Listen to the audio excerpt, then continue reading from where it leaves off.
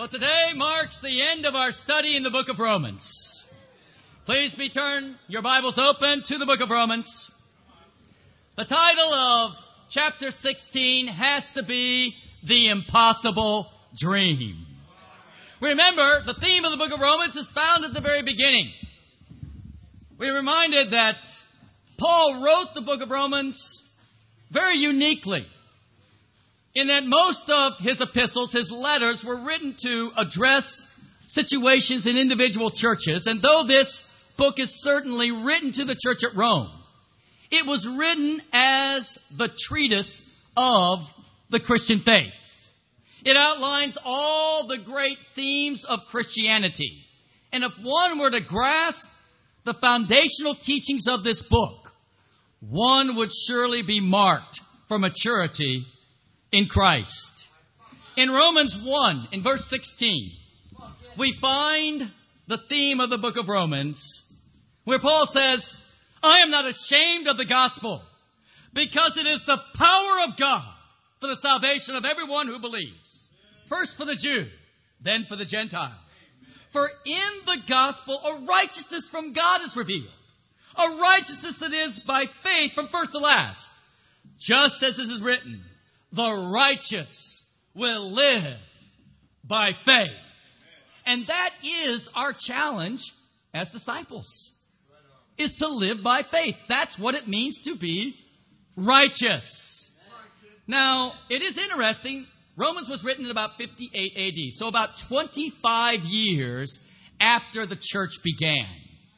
And I think it hits a lot of the people that had been in the kingdom for many years people that had gotten sentimental about the teachings of God's Word and needed to be reminded of the eternal truths of God. And so today, as we study out chapter 16, I've outlined it to be broken down into three sections. First of all, is the salutations of appreciation. Verses 1 through 16 and 21 through 24. The second section is the denunciation of division, verses 17 through 20. And thirdly, the evangelization of all nations, verses 25 through 27. Let's get into the text, chapter 16, beginning in verse 1. Paul says, I commend to you our sister Phoebe, a servant of the church at Cenchrea I ask you to receive her in the Lord in a way worthy of the saints and to give her any help she may need from you. For she has been a great help to many people, including me. You know, we're reminded that Phoebe is the carrier of the letter to Rome from Paul. She was in the church there at Cenchrea. Now, Cenchrea is the seaport of Corinth. It's located just southeast of Corinth. And that was the church that she was in. And so Paul commends her to the church. And he says, listen, this is an awesome sister. Listen, give her any help she may need, for she's been a great help to many people. You know, one of the things that I think as a church we need to always be reminded of is to be a hospitable church to disciples that visit us. Amen? Amen. And I don't know about you, but I get all excited when we have people visiting from St. Louis or visiting from LA or visiting from Colorado or visiting from Las Vegas. I mean, it just is encouraging to be with brothers and sisters from different places, is it not? And in a special way, we have two big challenges coming up as a congregation. First of all is the Jubilee on June 18th, 19th, and 20th as a congregation, we have got to open wide our arms, our hearts, and our houses to welcome these brothers and sisters to be with us because it's going to be an incredible spiritual feast. And yet, really, the impact many times of the seminar is just being with other disciples. Because when you're with zealous disciples, I mean, there's just something contagious about zeal. Are you with me right here, church? Secondly, we have the Northern Lights soccer tournament in July. And of course now, now some of the soccer brothers are very excited, particularly about Alfredo moving here, because he plays soccer. Amen, church? And once more, these teams that are coming throughout the Northwest and, and, and some from Canada, we have got to open up our homes and make these brothers and sisters feel at home. Amen. So just as Paul admonished the church at Rome, hey, give Phoebe all the help she needs. I mean, she's helped so many people. So I want to encourage you for the Jubilee, for the soccer tournament. Let's really give to everybody that's coming to Portland. Amen, church? Now, look at the next verse that follows right here. In verse 3, Paul says, Greet Priscilla and Aquila, my fellow workers in Christ Jesus. Drop on down, verse 5. Greet also the church that meets in their house. Greet my dear friend Epaenetus. Verse 6, greet Mary. Verse 7, greet Andronicus and Junius. And he goes all the way through here. And it's very interesting. The New International Version does use the word greet. And I don't know about you, but when I hear greet, I kind of go, well, that's like someone saying, hey, how you doing? But I don't think it really carries what Paul was trying to convey when he was writing very specific encouragement to these disciples that were already in Rome. Now remember, Paul had never been to Rome. That's the incredible thing right here. But look how many people he knows. But what he's saying, it's not greet like going, hey, uh, Andronicus, uh, hey, Mary, what's up? You know, that's not what he's saying. The King James Version perhaps puts it the best. Instead of the word greet, it uses the word salute. Salute Priscilla and Aquila, my fellow workers in Christ Jesus. They risked their lives for me. Not only I, but all the churches of the Gentiles are grateful to them. Salute also the church that meets in their house. Salute my dear friend Epaenetus, who was the first convert to Christ in the province of Asia. Salute Mary, who worked very hard for you. Salute Andronicus and Junius, my relatives who've been imprisoned with me. Do you get the connotation of Paul's heart right here, guys? Verse 8. Greet Ampliatus, whom I love in the Lord. Salute Urbanus, our fellow worker in Christ, and my dear friend Stachys. Salute Urbanus. Salute our fellow worker in Christ. You see right here, what he's getting in, he's saying, listen, we are bonded because of the mission. Do you see that all the way through in the scriptures right here? Verse 10, greet Apelles, tested and approved in Christ. Greet those who belong to the household of Aristobulus. Greet Herodion, my relative. Greet those in the household of Narcissus who are in the Lord. Greet Tryphena and Tryphosa, those women who work hard in the Lord. Greet my dear friend Persis, another woman who has worked very hard in the Lord. Now let's stop right there. You know, there's no doubt that Priscilla and Aquila were special friends of Paul. And it's kind of interesting as we go deeper into Scripture. And I think as you mature in Christ, you've got to start digging into the Word of God. Are you with me right here? And one of the things that builds faith is to figure out how all the books and all the brothers and sisters mentioned in those books are interconnected. And then it starts to all make sense. And it builds your faith of what you've got to be for Jesus Christ. Amen? Now, Priscilla and Aquila meet Paul in Acts chapter 18 in what some people think is a happenstance. Something that happened just by chance. You say, well, what, what do you mean? Well, Paul was evangelizing Greece in that particular time, so he's going into Corinth. But just by chance. But in the church, we don't believe in chance. We believe in God. Amen, church? The Bible says that Claudius in Rome kicked out all the Jews in Rome, and some of those Jews were Priscilla and Aquila, and they landed there in Corinth. Well, we know that Priscilla and Aquila were disciples by the time they get to Corinth. So, what's going on here? Very interestingly, in secular history, one of the most famous historians of the first century is a man named Josephus. Josephus records that Claudius, the emperor, did indeed kick out all the Jews from Rome. Say, what was going on? Well, Josephus details it. He says there was such a controversy amongst the Jews over a man named Christus that he said, man, get these Jewish people, they're fighting each other, get them out of the city. Now, of course, we understand from our study of Scripture that the conversion of disciples always first occurred amongst the Jews. And for a person to become a Christian from a Jewish background was a very radical decision. As a matter of fact, right here it became so radical and there were so many that there was such an uproar that Claudius couldn't separate Jews from Jewish Christians. He says, listen, there's such an uproar over this guy Christus. Everybody out of the city. And you say, oh, but wasn't Rome the most influential city in the world? And, and wasn't that really hard then with all these disciples leaving? Yes, that's true. But remember, God is sovereign. Everything that happens, He either makes happen or He allows happen, and He's got a greater purpose than we may understand. And so it was by God that Aquila and Priscilla land up in Corinth with Paul, and by chance, Paul's run out of money, so he falls back on tent making. They're tent makers. Guess how they come together? They start making tents, but they're preaching the word. Of course, Paul gets fired up when Timothy comes with some money so we can go back preaching full time. Amen. But they come together.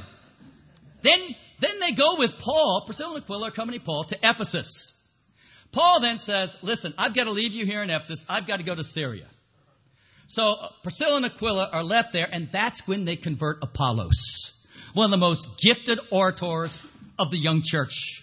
And you know, that says to me, Priscilla and Aquila were awesome. They backed up Paul in a great way. You know what I mean? Not everybody is an upfront type leader. We need some people that can really back up people. You, you, see what I'm talking about right here? We all need to find our role. We all need to find a role, and we can be very fired up about it.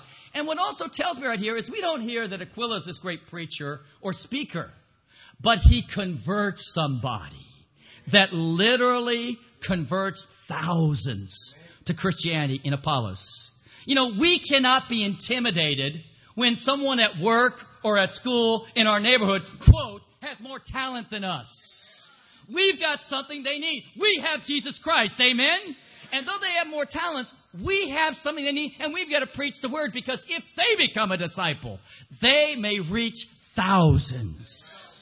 Is that a great challenge for us to be like Priscilla and Aquila? Well, of course, the, the interesting thing is we find that Paul reunites with them back in Ephesus, and we find this to be true by looking at 1 Corinthians 16. Let's go there quickly. In 1 Corinthians 16, we find this record. The churches in the province of Asia send you greetings. Now, Asia is the western part of what we call modern day Turkey. In the book of Revelation, there are the seven churches of Asia. What's the first church mentioned? Ephesus. Ephesus was the pillar church.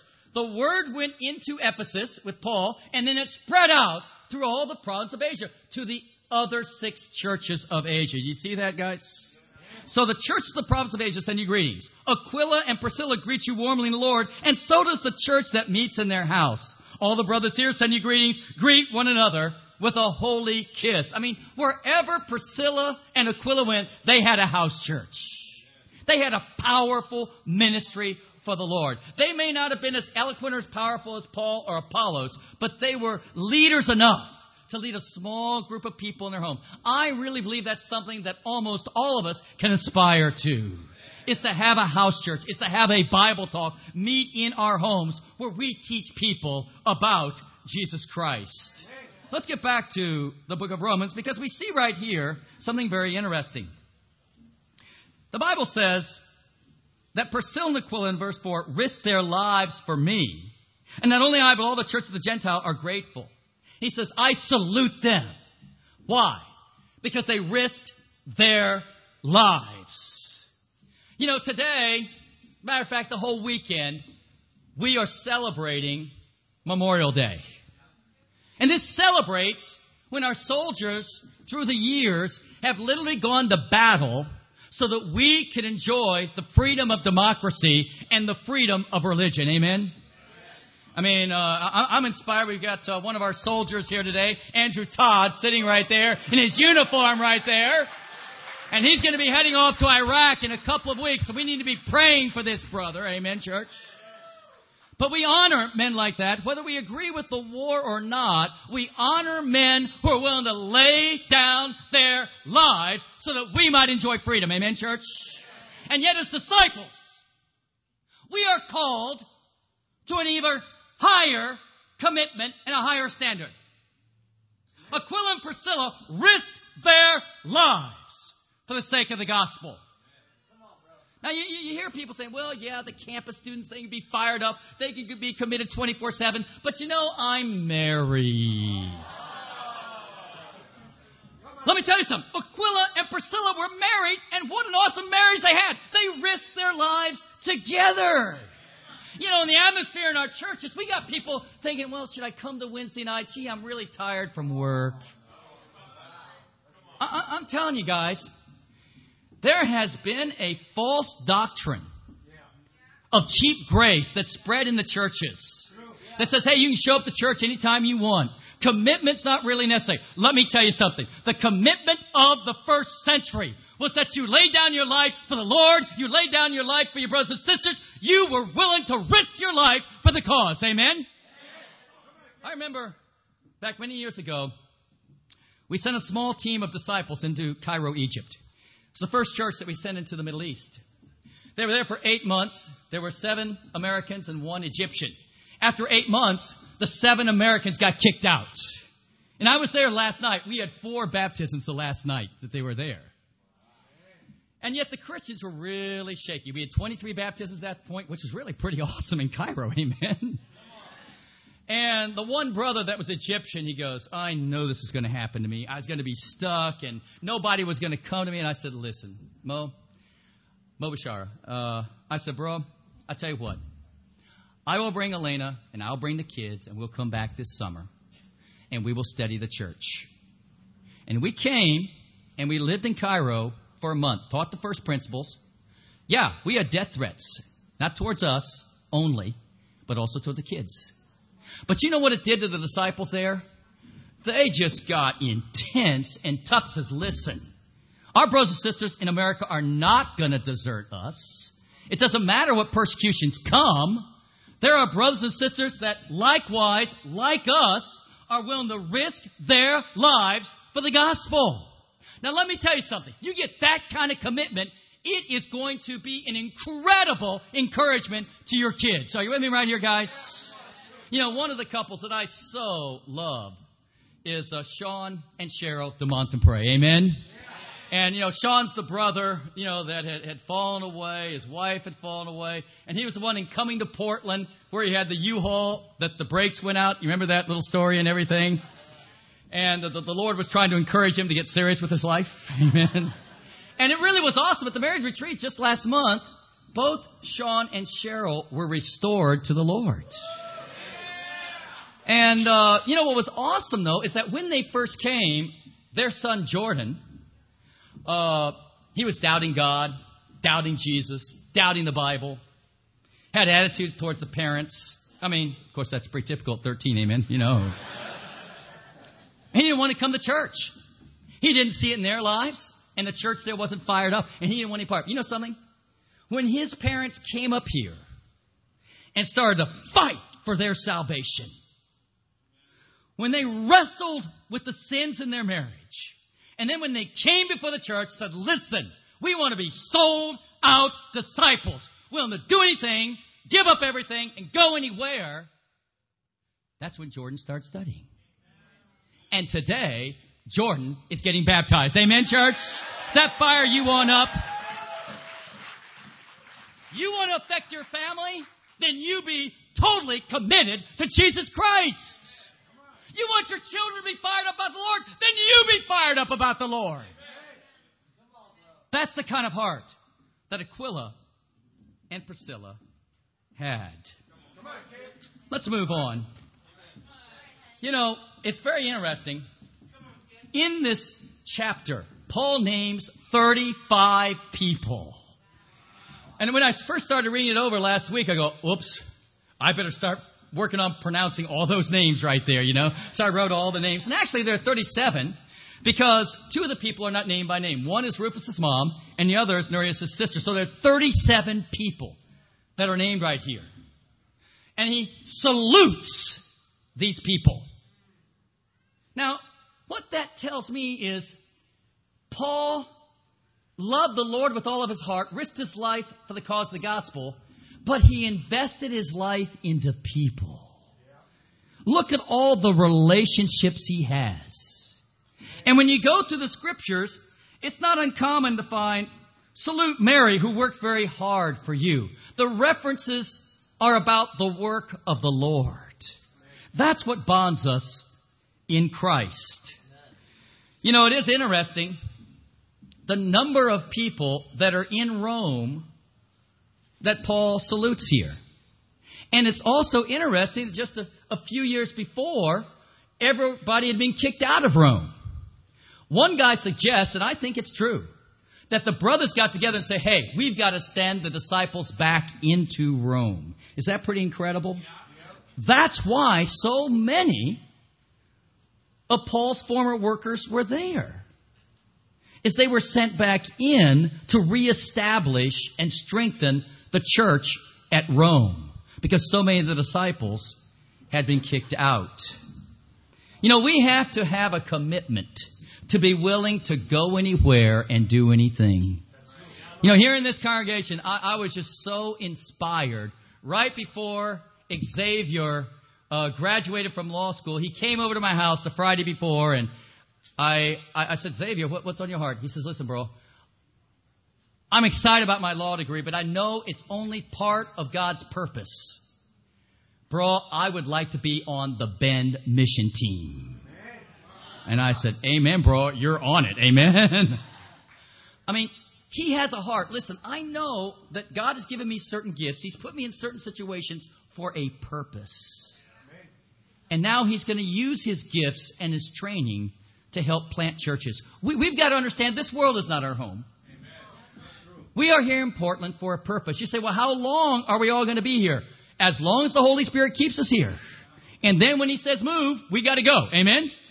And we got to be willing to preach the Word wherever the Holy Spirit sends us. Amen? The second thing that I noticed about all these people is the number of women that Paul mentions right here. I mean, there's Phoebe, there's Priscilla, there's Mary, there's Tryphena and Tryphosa. Now, of course, they maybe had a little attitude towards their mom for those names. I don't, I don't know. You know what I'm talking about? There's the mother of Rufus, Julia, and Nereus' sister. I mean, guys, you got to understand this was the first century when women were put down. The Jewish man, thank God every day, he was not a woman. You know something?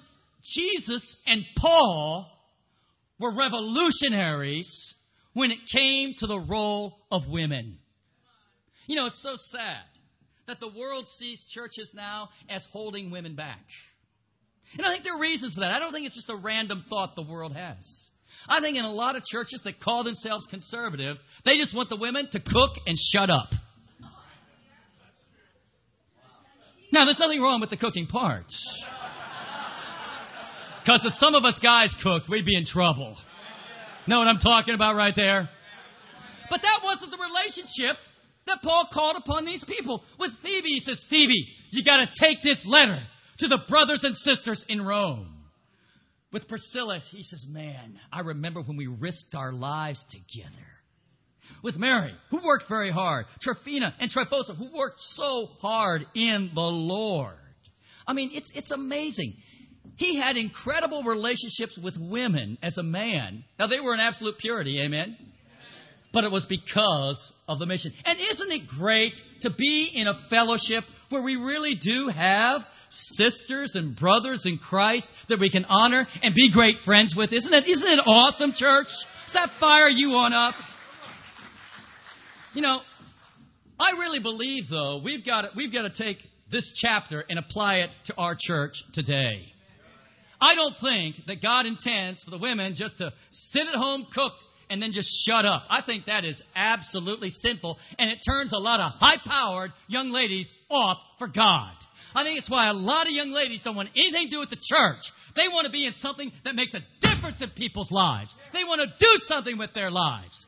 Let me tell you something. In this church, we need to have a high powered women's ministry. Are you with me, church? You know, I'm, I am so thankful. I am thankful. We've got women like Elena and Carlene and Sonia and Marcia, Therese, Denise, Mika, Michelle that are standing up for the Lord. Some have jobs, some are homemakers and moms, but they are all preaching the word for Jesus Christ. Let me tell you something. When young women see that, they go, wow, that's what I want to be. A woman on a mission from God. And we need to honor the women in our church. I'm particularly fired up about Lauren Rasmussen coming from New Mexico. You know, so many young people were let go as interns in our churches around the world because of lack of money and a lack of confidence in the church. Lauren always dreamed about being in the full time ministry. She says, Well, I'll switch out of that. I'll, I'll go be a doctor. Now, it's great to be a doctor. Amen. We could use some Christian doctors. Amen. I would trust them a lot more when they slice and dice, you see. but she wanted to be full time, but she thought the hope was gone. We sat down with her just a, about a week ago, and we said, Lauren, listen, we want you to come to Portland just for a couple of months and to see if it's the will of God for you to go into full time ministry. She says, I, didn't think that was possible. I, I, I, wanted to become a doctor because I thought maybe I could work for Hope or something then. I, I want to do something for the church. I want to do something for God. I, I didn't think it'd be possible to even think about working for the Lord full time. You know, I really hope and pray that those with the leadership gifts, and the Bible talks about us having different gifts, that those with the leadership gifts that are women will seriously consider going into the women's ministry and helping out other women. We need to have a conviction that this church is going to sacrifice financially whatever it takes to launch out young evangelists and young women's ministry leaders from this place to preach the word around the world. Are you with me, church?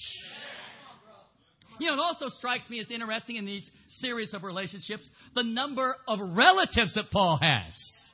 There's Andronicus and Junius. They were in prison with him. Now that's a good relative. Amen. Herodion. And then later on in verse 21, it says Lucius, Jason, and Sosipater. They were, they were with Paul when he was writing to the Roman church, but he says, These are my relatives as well. You know, Paul had so many relatives that were disciples. You know, I think as a church, we have got to get a lot deeper convictions that we need to convert our families. Are you with me right here, guys? What's it going to take to convert our families? Number one, it takes a godly life. Your families know you better than anybody else. And they know if you've really changed. Let me tell you something. If you have radically changed, your family is going to be the first to know. But if you don't radically change, what's the appeal of the gospel? Secondly, you can't just say, I'm just going to let my light shine and they're going to see, see a difference. No, you're going to have to speak up. You're going to have to love them more than the relationship. You mean it, might put some problems or frictions in it? Exactly. What price are you willing to pay for your family's salvation? You've got to have deep conviction. You want your mom and your dad and your, your brother and your sister and your whole expanded clan in the kingdom of God. Are you with me right here, church? You know, it's a very interesting thing. When it comes to family, we get sentimental about who is saved and who is lost. And let me tell you something. The Bible is true for everybody. Just because your mom reads the, the Bible a little bit every three days doesn't mean that she's an awesome disciple. It means you have to have a conviction. What does it take to be right with God? They have to respond to the cross of Jesus Christ and respond with the commitment of a disciple and then be baptized. If they have not done that, they are not saved. You need to have that conviction because it's God's Word. Are you with me right here? And you gotta talk about it. Yes, it may be uncomfortable, but my goodness gracious, look at all the family members that Paul was able to convert. And look at how fired up he was when they joined him in prison. Amen. We, you know, if the gospel sends us to prison, we want some people to come there too. Amen. You know, I think the other thing that's interesting is not only the physical family, but the spiritual family that Paul had. Notice, if you will, in verse 13, he says, Salute Rufus, chosen in the Lord. Does that sound special to you guys? and his mother, who's been a mother to me too. Now, I want us to look at a passage that I believe connects for us who Rufus really is, because this must have been a special person. Out of all the people listed in, in chapter 16, it's a very special salute. Rufus, chosen in the Lord. Go to Mark chapter 15.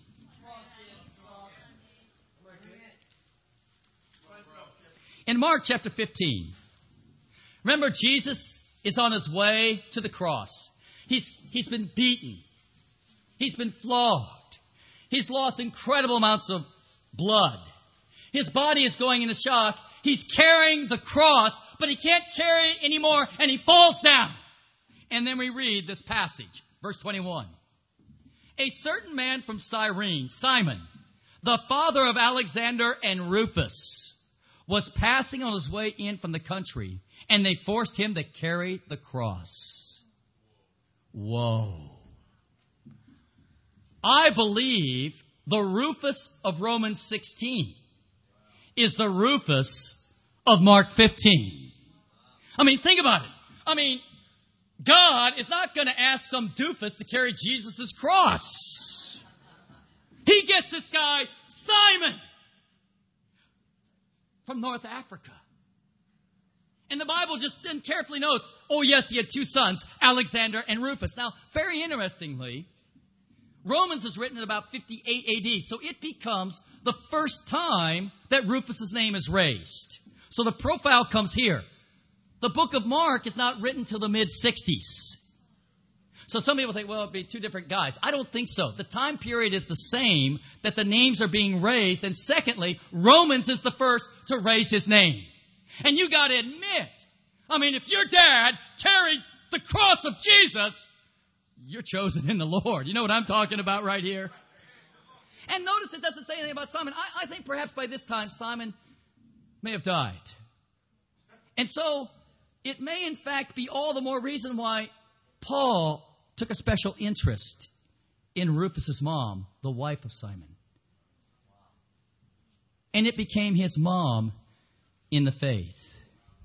You know, the great blessing of the church is that God says we are blessed, yes, with persecution, sometimes even from our family, but we have a hundred times in this life moms and brothers and sisters. Amen? And I really hope that you have those kind of relationships in the church. Like Paul, that this is your spiritual family. You know, I notice when people really do lousy spiritually, they have a tendency to gravitate back to the physical family because there is a security in family, is there not? It's because they lose their trust in the spiritual family. I've just got to ask you, where is your trust in God's spiritual family? I pray that you work hard to have mothers in the faith and fathers in the faith and brothers and, and sisters and cousins and whatever we need in the faith. Amen. Are you with me right here, church? You know, another thing that's very interesting right here is the grouping of disciples in verses 14 and 15. Let's read it together. Salute Asyncritus, Phlegon, Hermes, Patrobas, Hermas, and the brothers with them. Greet Philologus, Julia, Nereus and his sister, and Olympas and all the saints with them. Right here, it seems to me that there also were small groups. It was the house church of Priscilla and Aquila, and you get the small groupings of these disciples. There's no doubt that the New Testament church just didn't meet in one great massive group. They were broken into small groups that could meet each other's needs. Are you with me right here, church? Now look at verse 16. Verse 16 is a fun one. It says, greet one another with a holy kiss. All the churches of Christ send greetings. Now it's kind of interesting. You know, when I do these studies, I look at different commentaries. And one of my commentaries is a very, very, quote, arch conservative commentary. And I looked at it, it says, emphatically, when Paul was telling people that the holy kiss, they say, first of all, the holy kiss wasn't necessary. And I'm going, hold it. Holy kiss wasn't necessary. It's also mentioned in 1 Corinthians 16.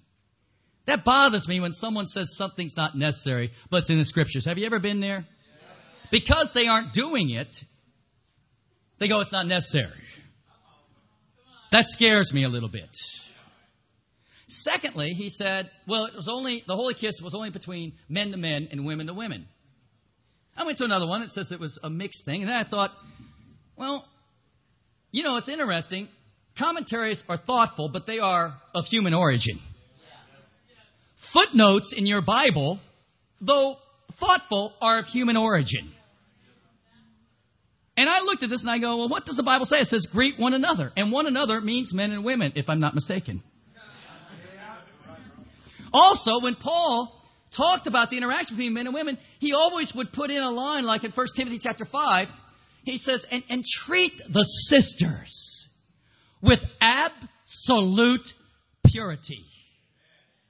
Therefore, I find it very interesting that a similar terminology is used. And greet one another with a holy kiss. No erotic element there. But a holy, you know, it, it, it seems to me that there was to be purity because it was a sign of greeting. Now, here at the church, we give holy hugs. Amen? But you know, I think it'd be fun today. We just put the scriptures into practice. I want you to turn. I want you to turn to your right and your left and give a holy kiss right on the cheek.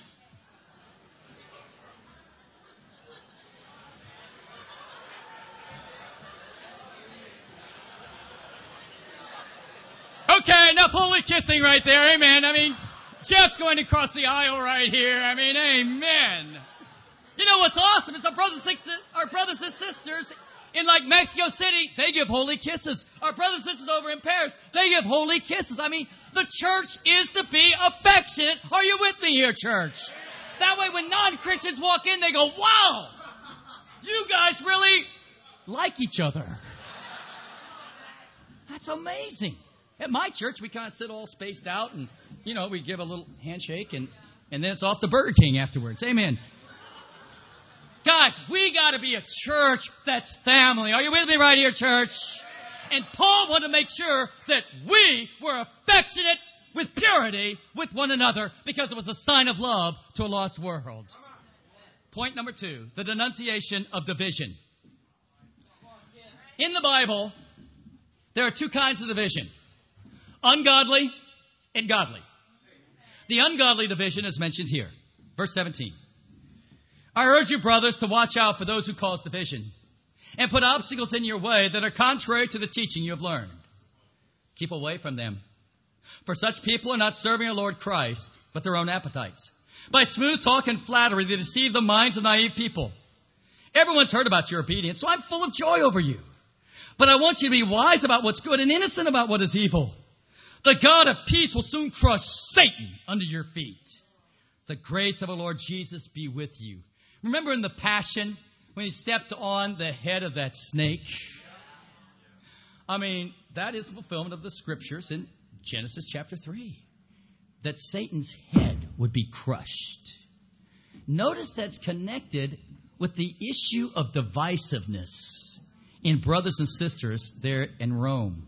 What was the divisiveness over? Well, it was people who started teaching things contrary to what they had learned when they'd first become disciples. And the Bible says right here, these people are not serving Lord Jesus, but their own appetites. By smooth talk and flattery. They deceive the minds of naive people. Now let's begin to lay it out here, church. There's a lot of garbage on the internet written negative about us. And if you got your head in that garbage, guess what your head and your heart are filled with?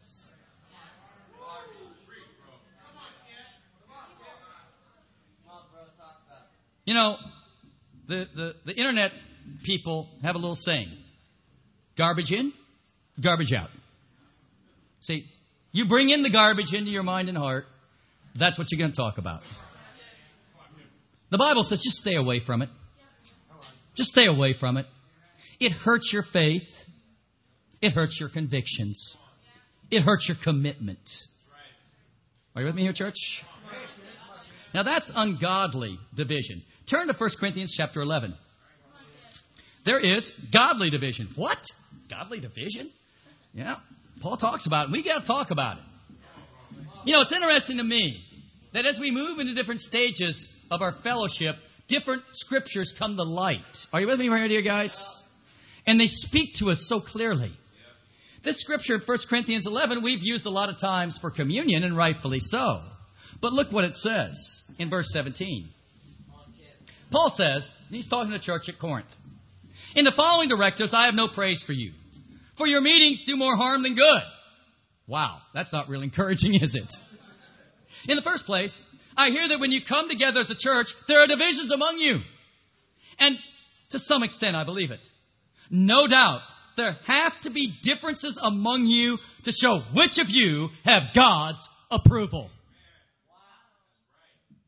Now we need to look at this scripture very carefully.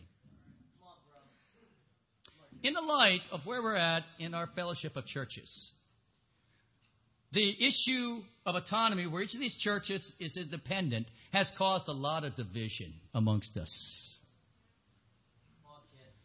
And we need to recognize some very basic things.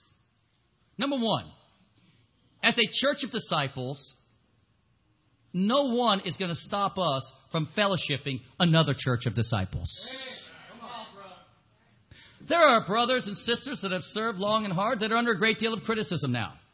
People like a, a Steve Johnson or a, a, Doug Arthur or a Bob and Pat Gempel. Let, let me tell you something. They're going to be welcomed in this church. You know what I'm talking about right here? Yeah, they may be controversial. But let me tell you something. They're my brother, and I'm going to stand up for them. And we've got brothers that are speaking on our program that, you know, aren't loved in other parts of our fellowship. Let me tell you something. We need to flat love up on them when they come to Jubilee. Are you with me here, church? I think we've also need to understand that as, as a church, we, we have taken some bold initiatives. We have said, listen, foremost in this congregation, we are going to be in submission to the Lordship of Jesus Christ. We are not going to stand for cheap grace. We expect every single member to be totally committed. We expect every single member to be a disciple. We expect every single member to be in discipling relationships and to preach the word. We do not apologize at all for our stand of commitment and our call for every single member to be sold out for Jesus Christ. Now, in this day and age, that's controversial. There are people who say, hold it, you guys are too radical, too zealous. Let me tell you something. Was Jesus too radical? Was Jesus too controversial? My Bible tells me if you're not controversial, you're not like Jesus. You know, sad to say, there are some people that say, well, okay, you guys at Portland are doing a pretty good job, and we've invited them to come speak at our conference, and they refuse to come. Say, well, we're not against you, we're just not for you. We, we want to have friends everywhere. You know, one of my heroes is John F. Kennedy. It was his birthday, May 29th. Now, I always think about him. He's got his birthday a couple days before mine, so amen. And his favorite quote was from Dante's Inferno. He said, This is John F. Kennedy, the hottest places in hell are reserved for those who during the time of moral crisis preserve their neutrality. Let me tell you something. This pulpit will not be neutral on Jesus Christ. This pulpit will not be neutral on the Word of God. This pulpit will not be neutral on fellowship. We are going to be a hard line, sold out congregation for Jesus Christ.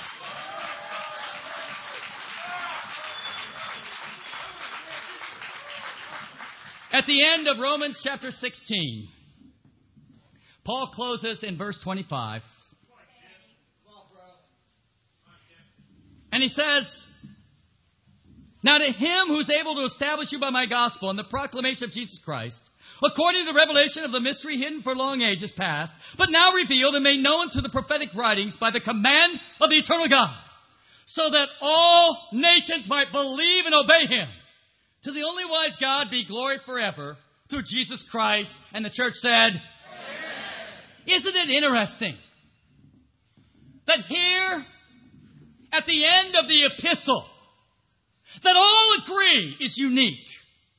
That is indeed written to be a treatise of the Christian faith itself. That Paul summarizes everything and says, we need to obey all the commands that have been revealed to us so that all nations might believe and obey Jesus Christ. See, our last point is the evangelization of all nations. Yeah, we need the salutations of appreciation. We, we need to salute those that are awesome in the Lord. Amen, church? We need to denounce ungodly division, but be willing to say, hold it. Hey, sometimes there've got to be divisions to show which ones have God's approval. But right here, he ends with the evangelization of the world. You know, it's very interesting. I was talking to a brother this past week, and he says, Bro, you know, I really appreciate your faith and your dream to evangelize the world in our generation. And I think it's very noble. But it's too bad it's not in the scriptures. Now we need to get it straight in our congregation here, guys. Over the past two years, there have been certain teachers that have propagated throughout our fellowship that the evangelization of the world in our generation is not a command of God. And I want us to get some convictions from the Word of God today about what the command of God is. Turn to Matthew chapter 28.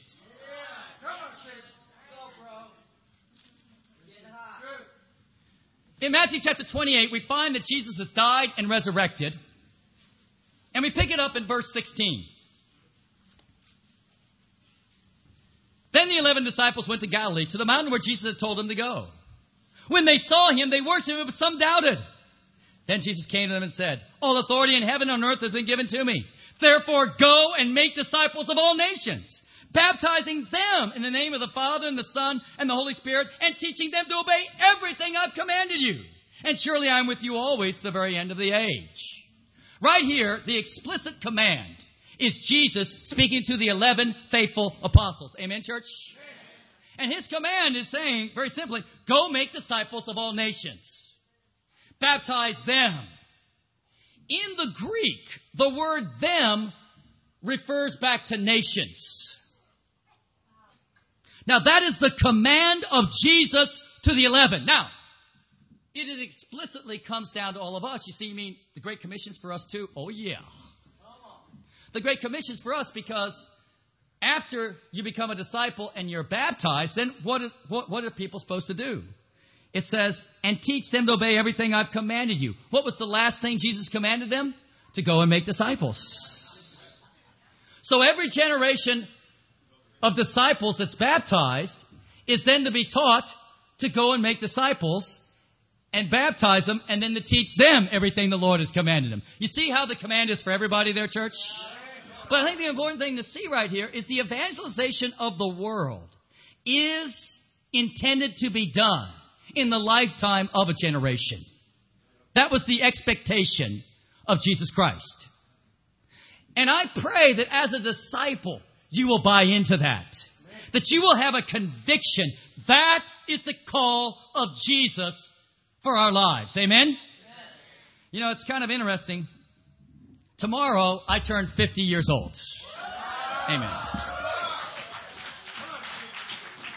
And, uh, you know, I, I, I had to get into kind of a special Bible study this week. I, I, I felt like I had to get into the scriptures and figure out when middle age started.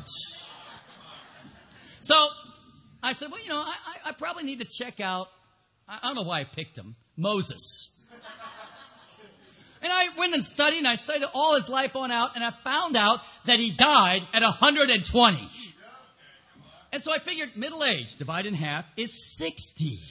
So I go, okay, I got 10 more years for I'm middle age. So I'm very fired up about that, and I thought I'd share that with everybody on out there. So, still being a young man, just 10 years away from middle age, I've noticed that people my age have a tendency to be grumpy, to be critical, to be disillusioned, and to be bitter. And the Bible says in Hebrews 12 verse 15 that bitterness can cause you to miss the grace of God. See what happens when you get to be 50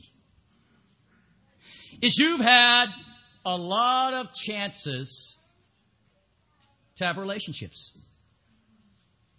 And all of your relationships, some are with Christians, some are with non Christians, but all of your relationships are with sinners. And you know, when you get into a relationship with another sinner, do you know what you guys do a lot? And when we sin, we hurt each other, don't we? Let me tell you something. You have 50 years of relationships. You've, you've got a lot of hits on you. I put a lot of hits on other people too. But you know, we always remember the ones that hit us. Know what I'm talking about right here, guys? So, the longer you live, the more relationships you have, the more chances you have for hurts in relationships. Also, the older you get, you start figuring out, you know something? I don't think I'm going to be president of Nike. Or, I don't think I'm going to make my first million by 30, seeing as how I'm 47. I may not make my first million. and what happens is disillusionment sets in because some of our dreams of youth aren't going to be realized. And so what happens is people mature in Christ, they begin to settle for what they've got. And that settles on into complacency and lukewarmness. And as disciples in this church, we've talked over and over again. Bitterness is understandable, but absolutely unacceptable. And I know in my own life, I mean, it's, it's been a challenge over the last couple of years not to get bitter. But you know, as I've had people in my life call me not to be bitter, as I've gotten in scriptures and tried to pray to God just to focus on the future, I mean, it, it's been amazing. There's always the temptation as we all look back. You know what I'm talking about, right? That? But you know, honestly, here I am, 50 tomorrow. I'm flat fired up about it. I mean, you know, a lot of people worry about 40 or 50 and they worry about giving black balloons or something like that. I'm, I'm not the least bit worried about it because I know God has a purpose for my life. You know, one of the, uh, my, my favorite musicals is by Cervantes, The Man of La Mancha. It's about Don Quixote. And uh, Don Quixote was this, this dreamer guy that used to go off, and he was a little crazy, some people thought. But he used to go off and fight windmills. And he was this dreamer. And the story centers a little bit around this prostitute that he meets. And her name is Aldonza. And she is a true prostitute that sold her body and her mind and her soul. And she's got nothing. And here's this old man, this, this dreamer, comes up to her and he goes, What is your name? She goes, Aldonza. He goes, No, no, no, no. Your, your name is not Aldonza. Your name is Dulcinea. In his mind, she was a beautiful woman with a beautiful name. And throughout his interactions with her, she would fight it. I'm, I'm not Dulcinea, I'm Aldonza the whore. But he said, No, no, no. You are Dulcinea. Well, it goes on, and near the end, someone has the audacity to put a mirror up in front of Don Quixote, this, this dreamer and he looks at the mirror and he sees reality. He sees what he's really like. An old man with few hairs and many wrinkles. And it causes him to lose his dreams. He becomes disillusioned because he sees himself as he really is. But then at the end, Dulcinea comes to him. And she says, Do you remember the dream? He goes, No, no, no, get away from me. She says, No, no, no, no. You changed me. He says, Who are you? She goes, I am Dulcinea. As she speaks, as a person whose life was changed because of this man not seeing life as it is, but seeing life as it should be. He gets up. And he sings the words of the impossible dream. To dream the impossible dream. To fight the unbeatable foe. To bear with unbearable sorrow. To run where the brave dare not go. To right the unrightable wrong. To love pure and chaste from afar. To try when your arms are too weary to reach the unreachable stars. This is my quest to follow that star. No matter how hopeless, no matter how far. To fight for the right without question or pause. To be willing to march into hell for a heavenly cause. And I know if I'll only be true to this glorious quest, that my heart will lie peaceful and calm when I'm laid to my rest. And the world will be better for this. That one man scorned and covered with scars still strove with that last ounce of courage to reach the unreachable star. There will be people that will tell you the evangelization of the world is an impossible dream. I am here to tell you through the scriptures of the Holy Spirit that God not only dreams it, He demands it. He demands it in this generation. He expects us to be sold out to Him and therefore to His mission. And so for me, 50, I've still got the dream. I'm, I'm not even the middle age yet. And I hope no matter what you hear Satan say, God has a dream for your life. As Paul spoke about David, he said, The time and the purpose of David's life ended when he died. Acts 13:36.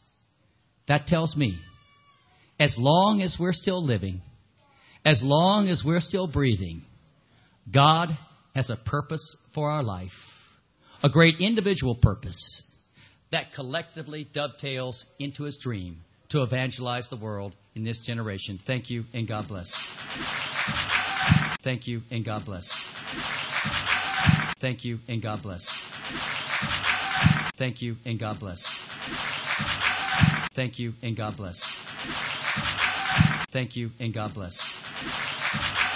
Thank you and God bless.